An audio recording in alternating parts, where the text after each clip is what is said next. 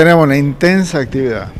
Estamos cerca de las mil denuncias, en todo caso, de incendios. Estamos hablando de incendios de cañaverales, incendios de pastizales en llanura, en alturas, forestales, y sumamos también los basurales, porque son las condiciones eh, meteorológicas, el tiempo actual de esta estación seca, lo que hace que tengamos semejante impacto, incremento de estos registros.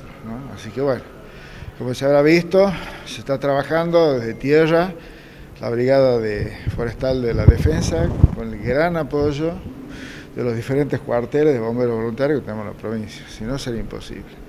Y además contamos desde hace tres días con un avión hidrante que ha provisto la Nación en el marco del Plan Nacional de Manejo del Fuego, donde la Defensa Civil, o sea, la provincia de Tucumán, la Defensa Civil Provincial, forma parte. Afecta mucho el servicio eléctrico, que es las transportadoras que tienen los cables aéreos, las altas temperaturas que generan los cañaverales, sobre todo la calle de pie, hace que automáticamente se produce un desenganche del sistema y afecta a gran cantidad de gente y pone en riesgo también a la población porque hay muchos servicios que relacionan con la, con la salud que necesitan los sistemas eléctricos. Cualquier persona sensata no lo hace en estas condiciones.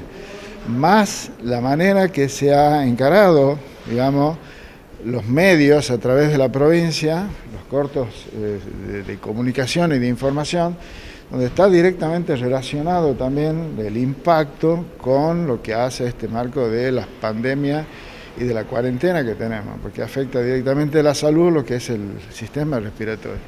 Si, tenemos que, si no tomamos conciencia, no sé cuándo va a ser el momento, porque la verdad es que hay focos de incendios por todos lados.